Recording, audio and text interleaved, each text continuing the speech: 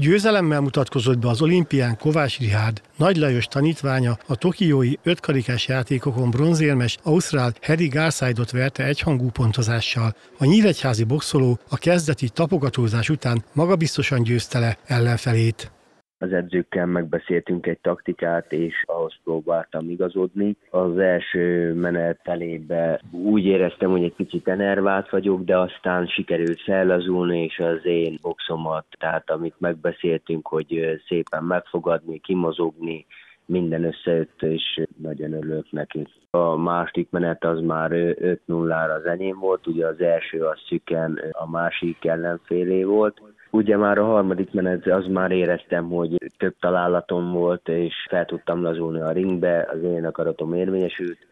Nagy Lajos edző maximálisan elégedett volt tanítványa teljesítményével. Sikerült talánylag jól feltérképezni az ellenfelünket. Az Ausztrál fiút úgy, és úgy gondolom, hogy nem igazán okozott meglepetést azt hozta, amit vártunk. Az első menet másfél-két percében még a Ricsi nem érzett annyira rá az ütemre, az ütőtávra, de az utolsó percben már nagyon jó működött, hatékony volt. Aztán második, harmadik menet az pedig teljesen tiszta a bíróknál is így egyhangú pontozás lett a vége, megérdemeltem.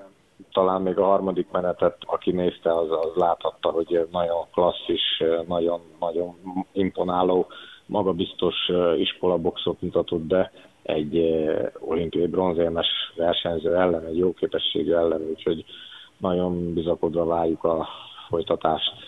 Kovács Rihárd a biztos érmet jelentő elődöntőbe jutásért a háromszoros világbajnok, Európa-bajnok, olimpiai ezüstérmes, francia, Sofián Omiha ellen lép szorítóba. Az edző elmondta, mi szükséges ahhoz, hogy tanítványa kezét emeljék a meccs végén a magasba.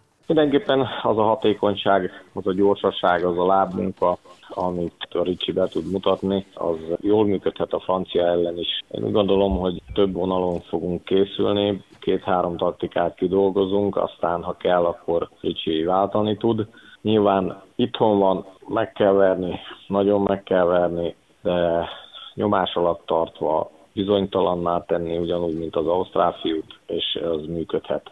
A Kovács Rihárd Szofián Omiha könnyűsúlyú olimpiai negyeddöntő csütörtök délután 17 óra körüli időpontban kezdődik az Aréna Párizs Nordban.